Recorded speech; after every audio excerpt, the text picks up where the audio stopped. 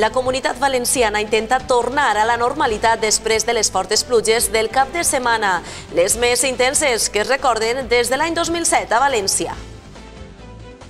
La pluja i el fred marquen la Fira de Santa Caterina a Vila-real i obliga els comerciants a tancar les seues parades abans del previst. La Diputació de Castelló enalteix els seus millors ambaixadors esportius en la 20 edició de la Gala de l'Esport. Castelló regula els actes de festes que podran ser patrocinats per empreses privades. El Centre de Tecnificació Esportiva de Vila-real acull el torneig internacional d'arts marcials xineses. I al sumari dels esports, el nostre company Miguel García. Miguel, què tenim avui? Doncs avui repassarem el que ha sigut el cap de setmana dels nostres equips. El Villarreal perd per primera volta en Lliga en el Madrigal. Ho fa contra l'Alavés per 0 a 2. Un partit sense quasi joc per part dels homes de Fran Escrivà. El València torna a perdre aquesta volta en el Sánchez Pizjuán contra el Sevilla per 2 a 1. Els de Prandelli encadenen 8 derrotes que es fan estar pendents de la zona del descens. I el Penyíscola Ricard Medic guanya en casa contra el Aspil Vidal Rivera Navarra per 2 a 1. Un partit que es va resoldre en els últims minuts i fa que els de Cani recuperen la cinquena posició de la Lliga Nacional de Futbol Sala.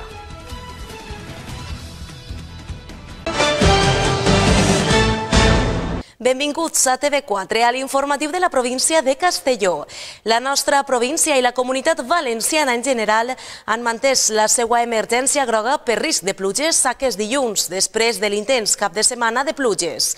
Segons l'Agència Estatal de Meteorologia, s'han acumulat aquest diumenge 77,6 litres per metre quadrat en Alcúdia de Veo, a Castelló, dels quals 60 litres s'han registrat en 4 hores.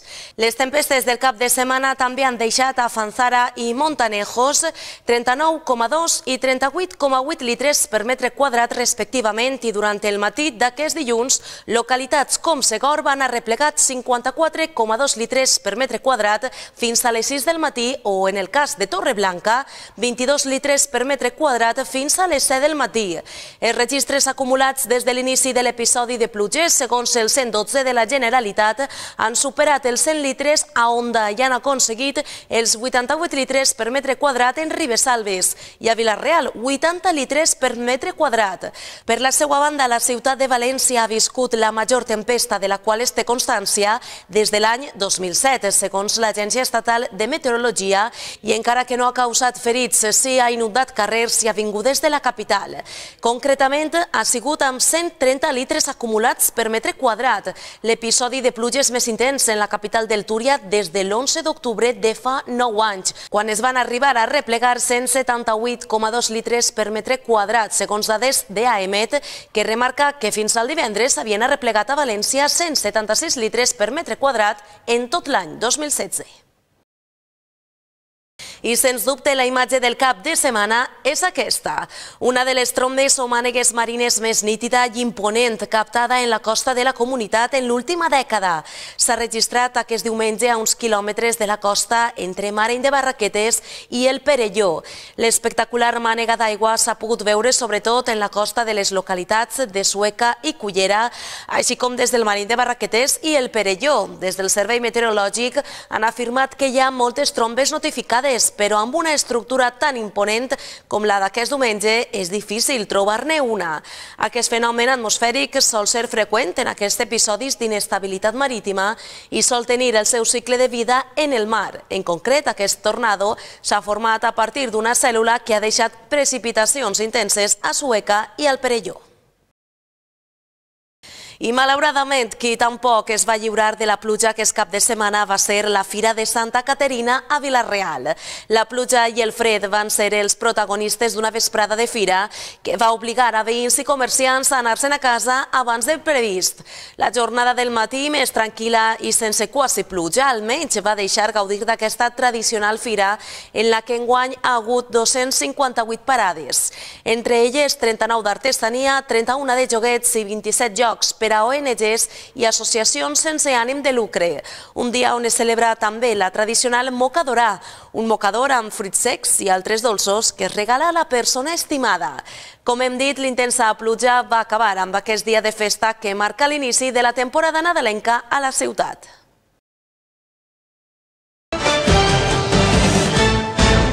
Canviem d'assumpte. La consellera de Medi Ambient, Helena Cebria, ha visitat la nova planta de tractament de residus del Consorci Ribera i Valldigna. Durant la visita, la consellera ha destacat la flexibilitat i eficiència de la planta, la qual es converteix en el millor exemple de la política de residus encetada pel Consell segons Cebrián.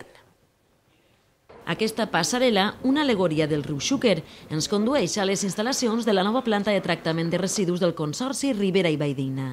La transparència és un dels principals elements que crida la nostra atenció en accedir a elles. A aquest aspecte ha fet referència també la consellera de Medi Ambient, Elena Cebrián, en visitar les instal·lacions i referint-se a la planta com l'exemple a seguir en la política de residus encetada pel Consell. Es una planta en que, lo que significa de, de, visibilitat de lo que és la gestió de, de residus, de transparència, de transparència en tots els, els sentits, des de la gestió, la bona gestió que, que s'ha fet en aquest últim any i mig en el consorci de la, del Pla Sonal i, i de visibilitat també el que és la, la possibilitat de visitar una planta, de fer molta pedagogia ambiental, d'explicar a tota la gent el que significa la gestió de residus. En recórrer les instal·lacions d'aquest complex de valorització de residus hi ha altre aspecte que ens sorprèn, l'absència de males olors, les quals són absorbides per biofiltres mitjançant el sistema en depressió.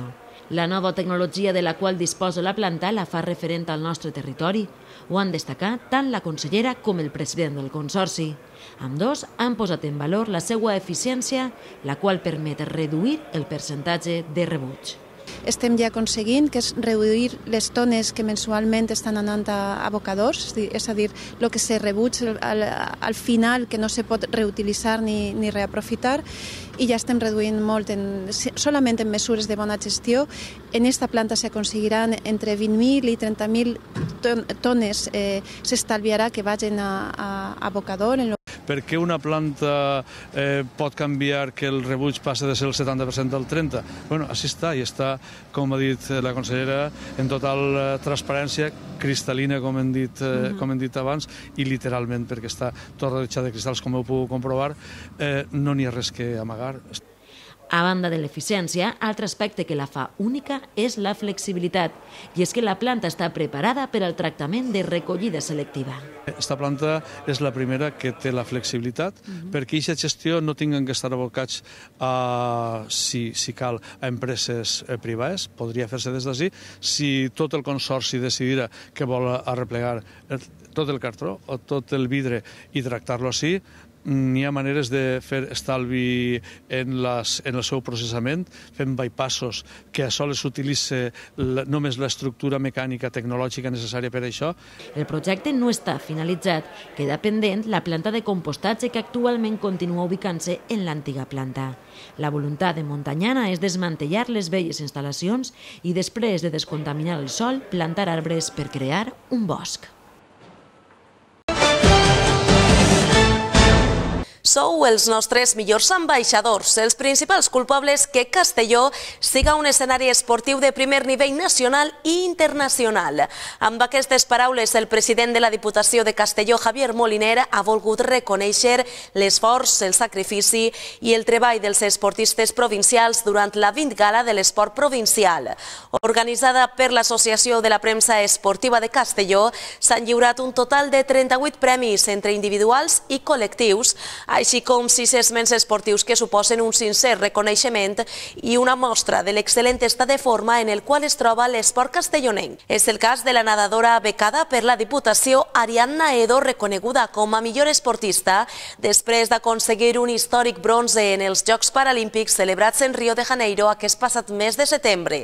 Èxits també com el reconegut a través del Premi Castelló Escenari Esportiu, que en la seva primera edició ha recaigut sobre Penyagolosa Trails i mitjançant el qual la Diputació vol posar en valor el treball realitzat pels clubs i entitats esportives de la província. Cal recordar que el suport a aquesta gala de l'esport provincial és conseqüència directa de l'aposta del govern provincial per fer de l'esport i dels més de 300 esdeveniments esportius que se celebren habitualment a la província una font inesgotable de recursos econòmics i socials per a tots els municipis. Per això, el pressupost per a 2017 arreplega una inversió superior a 3 milions d'euros destinada a afirmar l'impacte que genera l'esport sobre el nostre territori.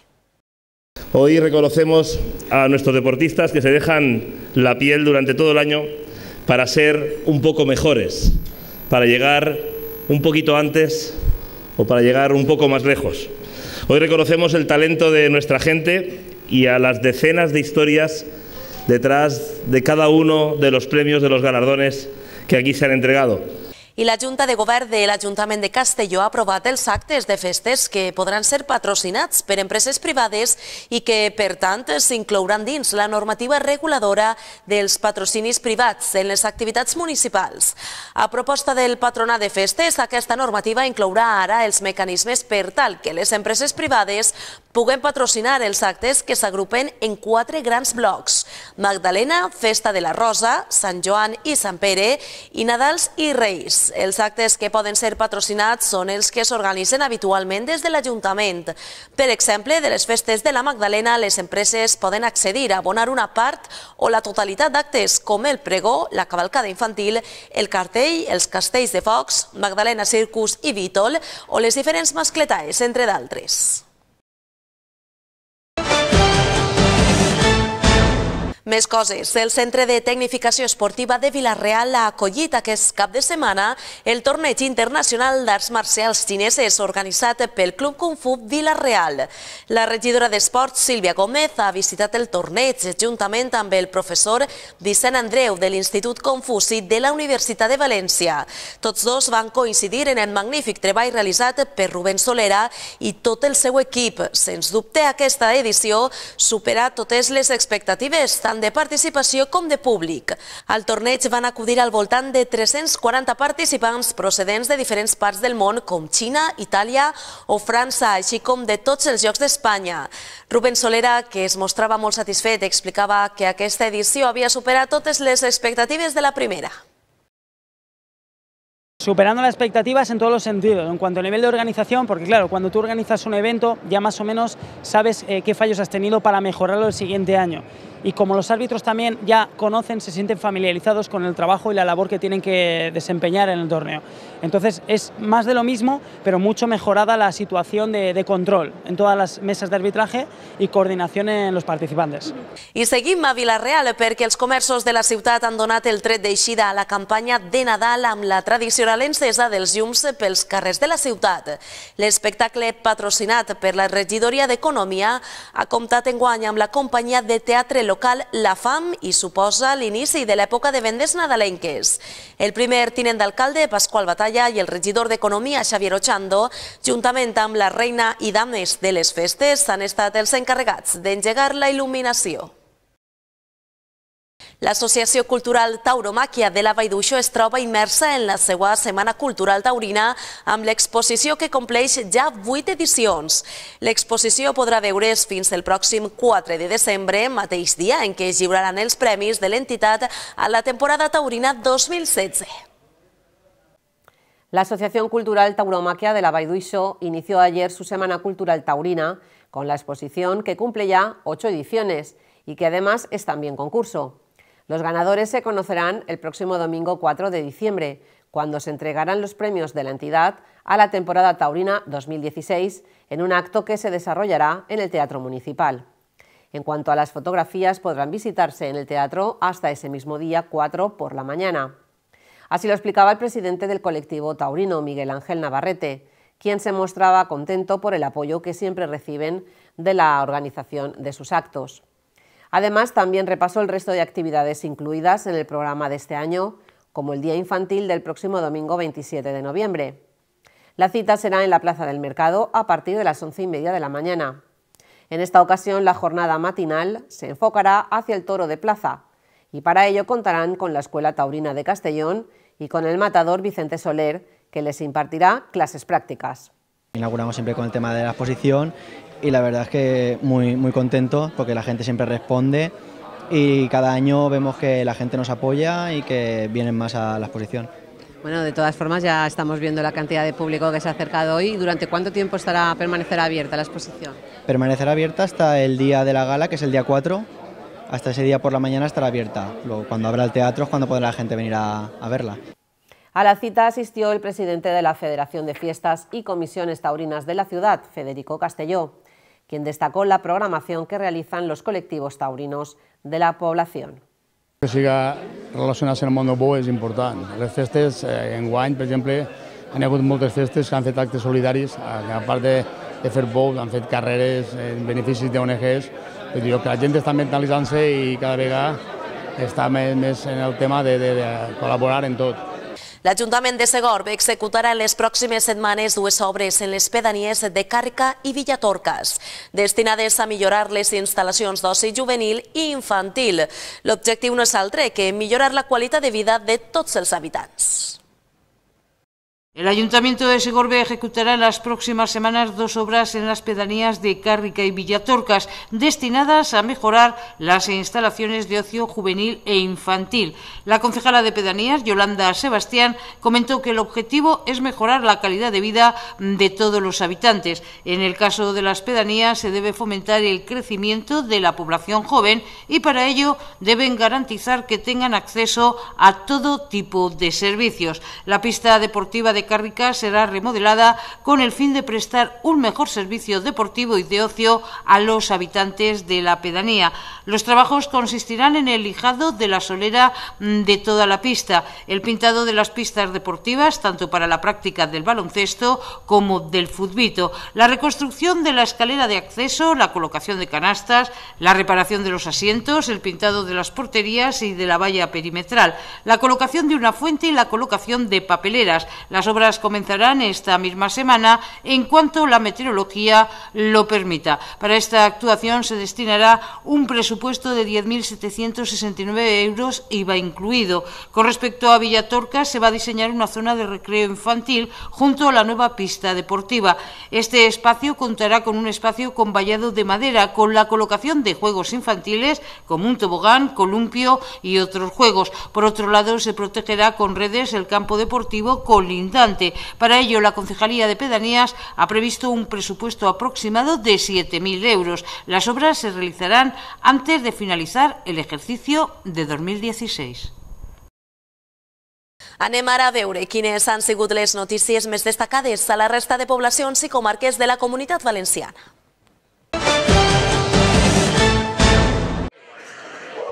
La última agrupació del regiment de cavalleria Lusitània 8 amb base en Marines destinada en Iraq ha tornat a casa després de sis mesos combatent al Daesh ensinistrant a les brigades iraquís al centre d'entrenament internacional per tal de lluitar contra els terroristes islàmics, dotant-los de major professionalitat. Com veuen, han sigut rebuts a l'aeroport de Manises per familiars i amics amb pancartes i moltes abraçades, un moment d'alegria que ve acompanyat de la tristor per la mort d'un company. Las misiones normalmente no son fáciles. Aunque se vean las caras de alegría por volver, las misiones siempre son complicadas. En este caso, eh, con, el, con, el, dolor en el corazón de que uno de los nuestros no ha, podido, no ha, regresado anteriormente fallecido. La misión ha ido estupendamente bien, la verdad es que estamos muy contentos. Eh, sentimos mucho la gran pérdida de, del soldado Aarón Vidal López, que desgraciadamente falleció el 8 de septiembre, pero aparte de eso, eh, la misión ha ido muy bien. Los iraquíes, jefes de las brigadas a los que hemos adiestrado, eh, están muy contentos, han tenido muchas menos bajas en combate y han eh, capturado todos los objetivos que pretendían en mucho menos tiempo del previsto. O sea que los resultados se plasman en el combate que están teniendo contra el Daesh y, lo han, y están muy contentos con, la instrucción recibida. Hemos, eh, hemos hecho el relevo de forma que la presencia española continúa allí en, en Irak, nos han relevado compañeros de, de Ceuta y pues allí siguen realizando la, la labor que hemos, que hemos terminado ya nosotros. La ideologia extremista, l'ambició i la subversió de l'ordre internacional del grup terrorista Daesh suposen una amenaça per a Iraq, Síria i en general per a tota la comunitat internacional. Per això és imprescindible la participació dels exèrcits de tot el món sobre el terreny. Lo que hacemos allí es entrenar brigadas. Nosotros hemos dado un paso más, eh, un paso más y hemos aumentado la calidad de, del adiestramiento. Eh, la calidad de adiestramiento dando sesiones de mañana, tarde y noche en temperaturas pues, muy, fuertes. Entonces la misión ha sido dura, pero lo han cumplido de forma ejemplar. Lo que conseguimos es debilitar al Daesh. Lo debilitamos porque en Irak eh, ocupaba un territorio que ahora ocupa cada vez menos. Antes ocupaba el territorio más o menos como de las dos Castillas y ahora decimos que ocupa más o menos la superficie de Toledo. O sea que ha perdido gran parte de la superficie. Además, ha perdido gran parte del apoyo popular. El Daesh, que era un, era un grupo que dominaba las redes, ahora no las domina. Antes era, un, era una ensoñación fantástica y romántica de los jóvenes y ahora es un desastre que todo el mundo sabe que es, que es, que es un, un demonio. Antes tenía voluntarios y ahora lo que tiene realmente es que, que, coger a los niños hijos de sus voluntarios y matarlos. O sea que la misión está dando un resultado estupendo. El DAS es muy probable que mute en, un grupo insurgente o en un grupo terrorista y será bastante complicado eh, eliminarlo, porque ya tenemos en España eh, experiencia de lo, que, de lo que cuesta eliminar a grupos terroristas y en nuestro caso fueron 40 años, pues es muy probable que en lo suyo años sean. Y aparte no podemos olvidar que es un grupo eh, multinacional y transnacional, o sea, no entiende de fronteras y ni entiende de métodos, por lo cual es muy probable que eh, Daesh como territorio, o sea, como, como grupo que ocupa un territorio, que es lo que significa Daesh, Estado Islámico, deje de existir, pero, pero la ideología radical que lo sustenta es muy probable que continúe de, de alguna otra forma. Americans, anglesos, portuguesos i espanyols han compartit bons i mals moments, assolint relacions que perduraran per sempre i lluitant per la pau.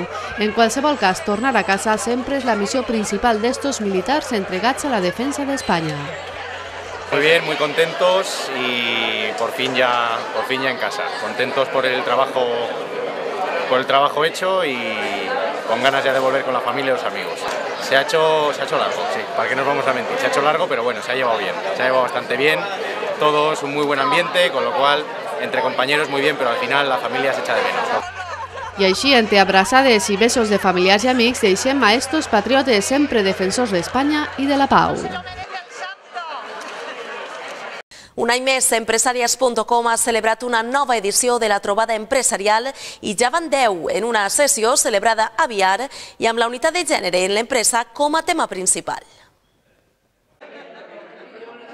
Este matí a la Casa de Cultura de Villar s'ha portat endavant el dècim encontre empresarial.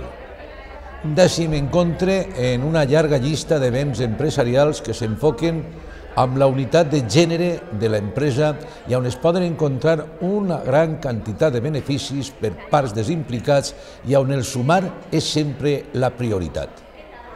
Estos encontres es realitzen amb un clar objectiu de proporcionar al teixit industrial de la Estos encontres es realitzen amb un clar objectiu, proporcionar al teixit empresarial de Villena i comarca una red de contactes i formacions de gran qualitat. Més allà d'esta població, també s'apropen idees i futurs projectes col·laboratius a empreses del conjunt de tota la província d'Alacant. Per tot això, este any el lloc escollit ha sigut la població de Viar. Hem comptat amb una excepcional formació a càrrec de Yolanda Sáenz de Tejada, escritora, conferenciant i empresària, experta en el talent femení, protocolo i emprendiment, a més de l'oportunitat de conèixer un dels municipis més bonicos de la província d'Alacant en una visita guiada a tot l'entorn de la vila de Viar. Eh, a todas las asociadas y futuras asociadas que están hoy con nosotras y con nosotros, a la Diputación de Alicante, a Mercedes Alonso, un año más por, por estar aquí con nosotras, diputada de Igualdad y de Mujer, al Ayuntamiento de Viar, a Julio, su alcalde, a Cristina, a Juan Luis, al director territorial, que será el encargado después de, cerrar el acto, al Ayuntamiento de Villena, por apoyarnos también siempre, a, toda la corporación en general. Eh, no se me olvida nadie, a Esther Esquembre, a Kate, a, a Javier, eh, lo hemos dicho, Fulgen, Isabel, muchísimas gracias. A Milagros González, de Servé, muchas gracias otro año también por asistir. La que barre, la que friega, la que, la, que hace la compra. Entonces, esas son las cosas que se le reconocen a la mujer. Cosas eh, que gracias a, a cómo va avanzando la sociedad, se va quedando esto un poco al margen, que ya era hora. Quiere decirse de que poco a poco estamos consiguiendo eh, esa igualdad que creo que ya en el siglo XXI pues casi no deberíamos de estar hablando de ello. Deberíamos de decir, hablar de eh, José Luis como empresario. Son 10 los años que estáis realizando estos encuentros y 10 años que la Diputación asiste a los mismos. Así que vaya por delante la felicitación de todas las mujeres que conformáis la asociación y que cada vez afortunadamente sois más por el gran trabajo que realizáis y sobre todo por visibilizar eh, el emprendimiento que hay, la riqueza de talento eh, y en positivo y de mujeres en la provincia de Alicante. Pero qué duda cabe que hablar de empresarias, de hablar de igualdad de oportunidades, de hablar de mujer, no podemos dejar de lado la discriminación todavía y los estereotipos y los roles machistas que aún existen en la sociedad actual. Ayer terminábamos en la Diputación el, decimocuarto Congreso contra la violencia que se ejerce contra la mujer y ahí se ponían eh, el acento en muchas de las situaciones que hoy en día nos preocupan porque se dan en la gente joven y también se dan en sectores de mujeres que, son mm, menos visibles pero que sufren una doble vulnerabilidad. I la plataforma Salvem l'Aqüífer del Molinar i Ecologistes en Acció portaran a la Comissió Europea la llei valenciana que elimina les zones d'esmortiment dels parcs naturals i que permet la instal·lació d'àrees industrials com Alcoinova. Algunes d'eixes zones d'esmortiment també són de protecció d'aus, com el cas de la Font Roja, pel que esperen que la llei siga revisada i impossibilite la construcció del parc industrial. Molts són encara els detalls que falten per conèixer de la possible instal·lació del Parc Tecnològic i Industrial Alcoi Nova a la zona de la Canal d'Alcoi. El projecte, definit amb la figura urbanística d'actuació territorial estratègica o ATE establerta per l'anterior govern de la Generalitat per estalviar tràmits, encara està a l'espera de diferents informes mediambientals per a poder avançar, ja siga en el sentit de la seva construcció o de la seva cancel·lació. Mentretant, dels col·lectius que s'han posicionat des del primer dia en contra d'Alcoy Nova segueixen menejant les seues fitxes. La T d'Alcoy Nova ha passat per diferents instàncies judicials d'àmbit local, regional i nacional, però no europeu. Ara la plataforma Salvem l'Aqüífer del Molinar, juntament amb l'ONG Ecologistes en Acció, portarà el cas al Parlament Europeu, gràcies a la mediació de l'eurodiputada d'Esquerra Unida, Marina Albiol. Pretenen fer veure a la comissió que estudiarà el cas que el Coinnova és possible només gràcies a una modificació unilateral de Generalitat que afecta a la zona d'esmortiment de la Font Roja. Es va modificar la normativa dels espais naturals protegits valencians, es va modificar per llei eh, sense eh, eh, fer els tràmits que marcava la legislació de la Unió Europea. Es va fer sense avaluació ambiental i sense participació del públic, amb un acte eh, legislatiu que és jurisdiccionalment immune. Això significa que no pots recórrer als tribunals.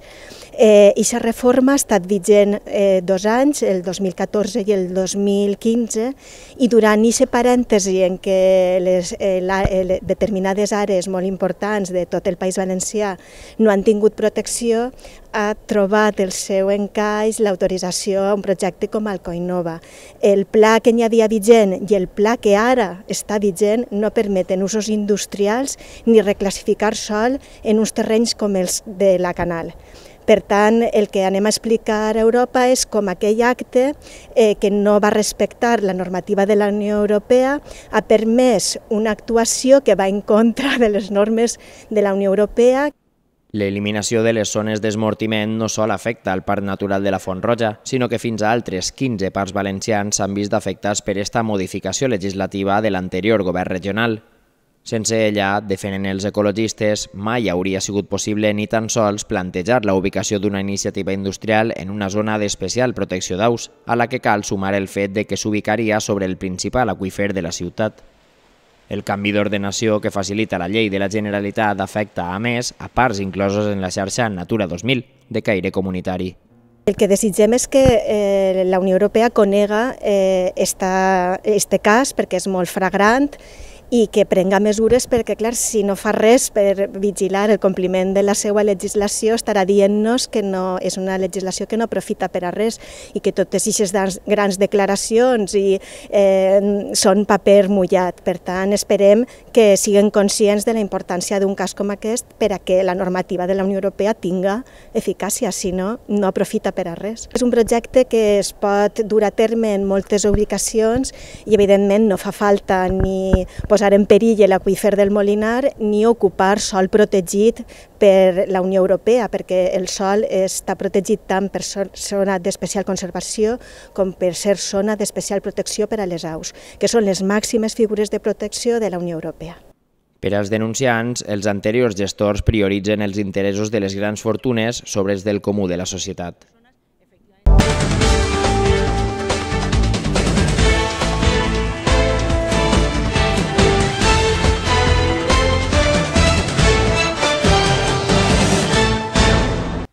I temps ja per a conèixer tota la informació esportiva, com cada dia de la mà del nostre company Miguel García. Miguel, cap de setmana amb no massa bones notícies. Així és, Marta. Primera derrota en Lliga del Villarreal en el Madrigal. Perd contra l'Alavés per 0 a 2.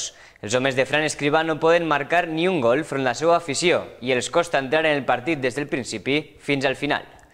L'encontre comença amb aquesta jugada entre Manu Trigueros i Samu Castillejo, però el tir del malagueny se'n va per dalt del travesser. A partir d'ací i en els primers minuts, monòleg de l'Alavés. Edgar penja un baló a l'àrea, Deiverson remata, la pilota es troba en el pal i rebutjada per a Ibai Gómez, la cola al fons de la xarxa d'Asenjo. Minut 8 de partit i el Villarreal perd per 0 a 1. El segon avís des de Pellegrino ve en aquesta jugada a baló parat on Teo Hernández des de la frontal de l'àrea llança aquest míssil però Asenjo aconsegueix treure la mà i parar la pilota. I atenció, al minut 17 de partit ve el regal de Musakio. Primer erra en el control i després no aconsegueix passar-la al porter. Camarasa, que està esperant l'errada, li roba el baló i anota el segon per a l'Alavés. A partir d'aquest moment veiem a un Villarreal nerviós per marcar, però sense projecció ofensiva. Quan arriba a l'àrea té alguna ocasió, però no crea perill a la porteria des de Pellegrino. La més clara aquesta de Castillejo en una falta a baló parat, on Pacheco vola per impedir el 1-2 en l'electrònic. Final en el Madrigal i els tres punts no es queden a casa. Setmana per a olvidar per als homes de Fran Escribá. Hicieron una muy buena primera parte y nosotros una muy mala primera parte. No salió nada, ellos estuvieron muy acertados, controlaron muy bien el juego y aunque en la segunda parte apretamos y tuvimos alguna ocasión para haber acortado, pero es cierto que la primera parte ya condicionó el partido. Al final es la primera derrota que sufrimos por dos goles, pero normalmente todo muy ajustado. No, no es tema de cansancio, no hay justificación, sobre todo cuando no te marcan en el 80 y en el 90, que sí que puedes alegar cansancio. Te han marcado en los primeros 15 minutos, con lo cual no existe la justificación de decir veníamos cansados y demás. Eso en otro momento sí. Entramos mal, la intensidad desde el principio no fue la, correcta, eh, no, no acertamos en nada y luego cuando mejoramos, evidentemente, aparte por el paso atrás de ellos, por el paso delante nuestro, tampoco nos dio. Tuvimos ocasiones, ya digo, pero bueno, el no haber marcado uno nos dejaba sin opciones al final. Molt complicat al final del partit remuntar la situació. Un Fran Escrivà que a pesar de les dues derrotes d'aquesta setmana passada sap on estan les errades. Escoltem. Si miramos a nivel ofensivo la eficacia, creo que hoy tiramos mucho a gol, no, no, lo sé, pero estoy seguro que es de los partidos que más hemos tirado a gol. Evidentemente la eficacia, igual que el jueves, no, ha sido buena y a nivel defensivo eh, es evidente que, si entramos a los partidos sin intensidad, no solo los dos que marcaron, sino lo que generaron en los primeros 45 minutos, entregas un partido y luego por bien que estés en ataque, que tampoco es el caso, eh, no te da. Pero ya digo, eh, fundamental, cosas fundamentales que, que a veces a uno le sonroja tener que recordarlas. I continuem amb males notícies, perquè Sergio Rico deixa el València pensant en la salvació.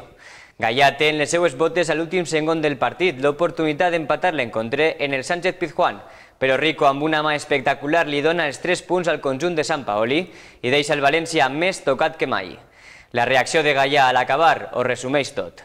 El primer gol del Sevilla ve d'una jugada amb velocitat de Vitolo per la banda dreta, retalla a Siqueira, centra el baló i Ezequiel Garay en pròpia porta marca el primer per als de Sant Paoli. Deu minuts més tard, Munir, que acaba d'eixir de la banqueta, amb aquest toque amb l'exterior empata el partit en el Pizjuán. El València creu en la remuntada, el gol els fa estar en el partit. Però poc dura l'alegria, perquè en aquest córner el valor li cau a Nico Pareja, que pilla la defensa del València i Sint, i la pilota es cola entre tots i acaba dins la porteria de Diego Alves. I el final ja el coneixem. Gaia té l'oportunitat d'empatar el partit, però Rico ho impedeix.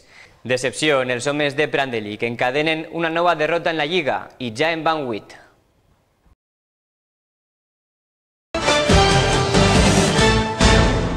El Villarreal B suma el seu tercer triomf consecutiu a la Lliga després de superar per 2 a 0 a l'Atlético Levante en un partit molt igualat que es va desnivellar en els últims compassos gràcies a la màgia de Leo Suárez. L'atacant argentí que va reaparèixer en l'últim partit davant l'Hèrcules salta al camp en el minut 73 i revoluciona el xoc, donant l'assistència del primer gol a Carlos Martínez i participant en la jugada del 2 a 0 definitiu. Una gran ratxa per als homes de Paco López.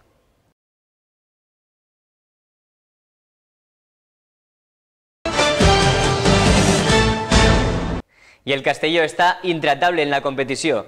Guanya en el camp del Borriol per 0 a 1. El gol de Rubén Fonte dona de nou els 3 punts als homes de Fran Castelló, que encadenen una nova victòria i es permet no desenganxar-se del grup que disputarà el play-off d'ascens a segona B.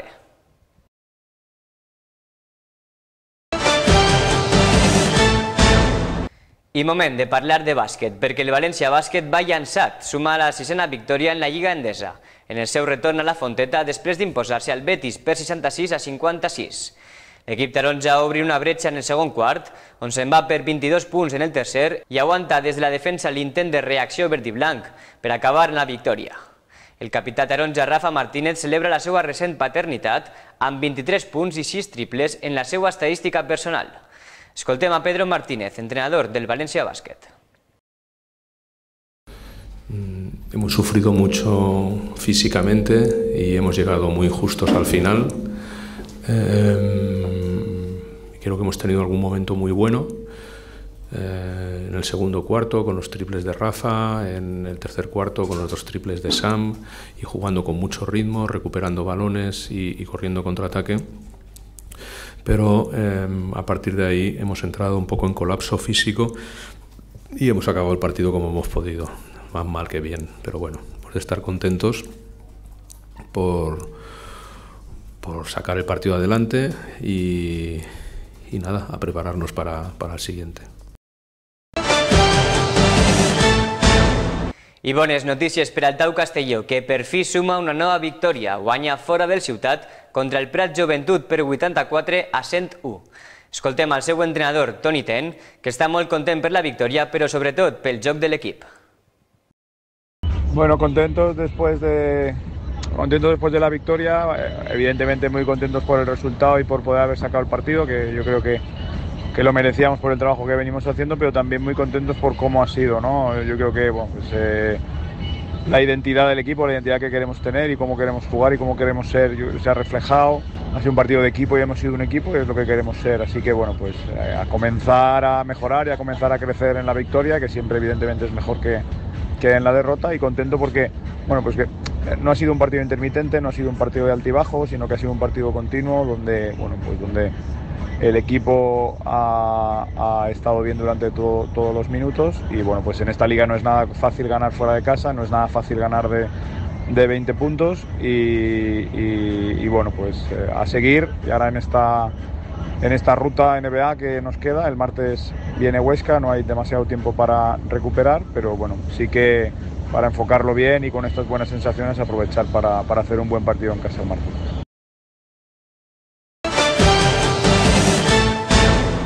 I el Penyíscola Rihab Medic torna a guanyar. En aquesta ocasió ho fa contra l'Espil Vidal Rivera Navarra per 2 a 1. Escoltem Albert Canillas. Personalmente estoy muy contento del partido que ha hecho el equipo, estoy muy contento del trabajo, del sacrificio de jugadores. Es una victoria muy trabajada, que hemos trabajado mucho durante la semana para preparar bien el partido y creo que el equipo ha respondido bien. Muy orgulloso de mis jugadores. Un encontre emocionant que es resol en els minuts finals. Abans s'estrena Esteban i David amb el joc de 5 visitant aconsegueix igualar el partit momentàniament i al final Mitchell dona el triomf als d'Albert Canillas. Amb la quarta victòria seguida en casa, els de Castelló tornen a la cinquena plaça amb els mateixos punts que el Barça. I fins així tota la informació esportiva. Marta, fins demà. Gràcies, Miguel. Demà més. I ara anem a conèixer ja tota la informació de l'horari. Per a este dimarts tindrem un cel nuvolós o cobert. S'esperen precipitacions als litorals i seran probables a l'interior de manera més dèbil. No es descarta que les precipitacions siguin persistents al sud de València i nord d'Alacant. Temperatures sense canvis importants. Per la seva banda, el vent bufarà nord-est moderat al litoral i de component és fluix a la resta. I fins així el nostre informatiu d'avui. Els recordem que poden seguir informats a través de la nostra pàgina web www.noticias4.com. Gràcies per la seva atenció i fins demà. Adeu.